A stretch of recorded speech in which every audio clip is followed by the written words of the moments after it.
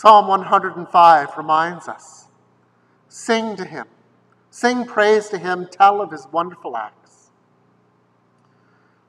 To cover the time while I'm off on my vacation, we'll be offering this, this period of, of reflections on some of the hymns of our faith that have been recorded before I've left.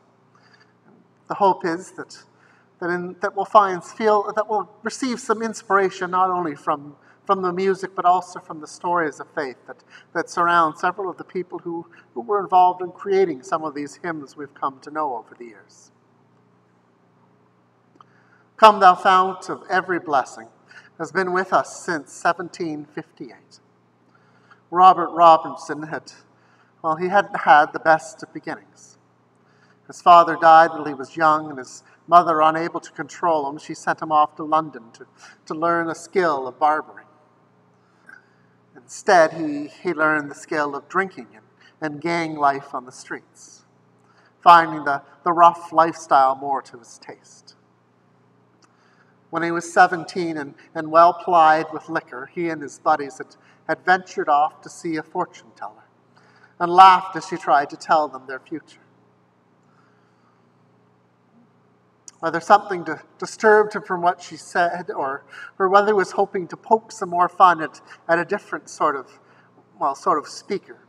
Robert persuaded his friends to attend an evangelistic meeting that was being held by George Whitefield later that evening.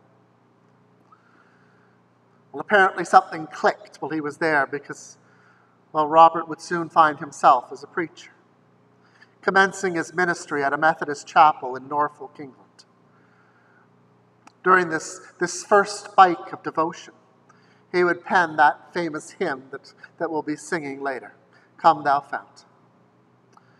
Now, I call this his, his first spike of devotion because it seems that, that Robinson was indeed prone to wander.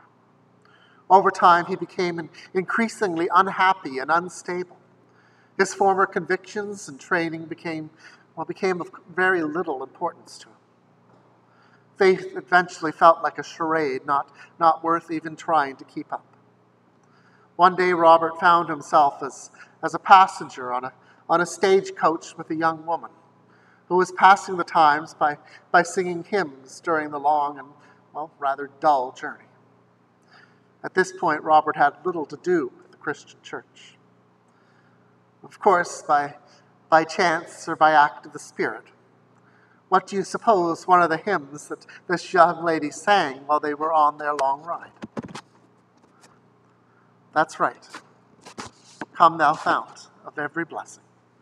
Tune my heart to sing thy grace, streams of mercy never ceasing, call for songs of loudest praise. Teach me some melodious sonnet sung by flaming tongues above. Praise the mountain fixed upon it, mount of thy redeeming love. Oh, to grace, how great how great a debtor daily I am constrained to be. Let thy goodness like a fetter bind my wandering heart to thee. Prone to wander, Lord, I feel it, prone to leave the God I love. Here's my heart, Lord, take and seal it. Seal it for thy courts above. As she finished singing, the, the young woman asked Robert what he thought about that particular song. His, his startling reply was, Madam, I am the unhappy man who wrote that hymn many years ago. And I would give a thousand worlds if I had, if I had them. If, if I could feel now as I felt then. The woman's reported as responding, From that fountain, there is still mercy that flows. Prone to wander and leave the God he loved.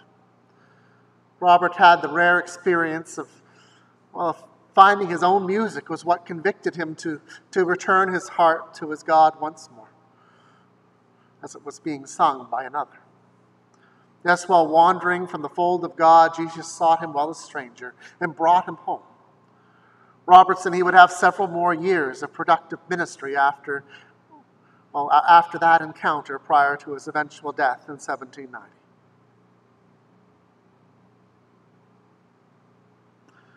Luke reminds us in his gospel. Jesus told them this parable. Suppose one of you has a hundred sheep and loses one of them. Does he leave the 99 in the open country? Doesn't he leave the 90, uh, 99 in the open country and go after the lost sheep until he finds it? And when he finds it, he is joyful and puts it on his shoulders and goes home. Then he calls his friends and neighbors together and says, Rejoice with me. I have found my lost sheep.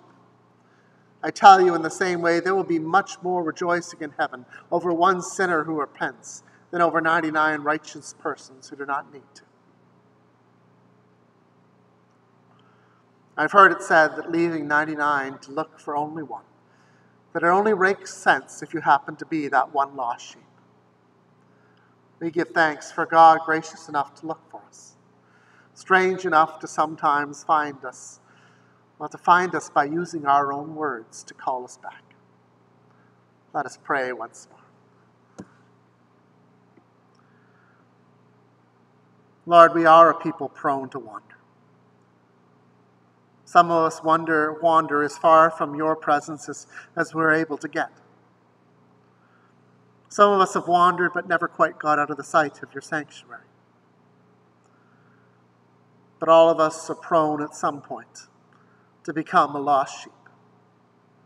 All of us rely on your help to, to find us and bring us back home. So tune our hearts to sing your praise. May that mercy that never ceases, may it find us today.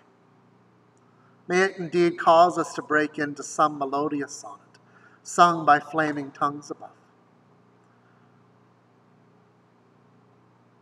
Lord, may the story of Robert Robertson, may the hymn that he wrote, may it still inspire us all these many years later.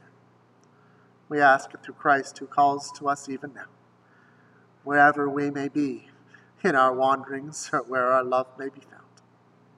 Amen. And shall we join together in singing this wondrous song of praise? Come, thou fount of every blessing.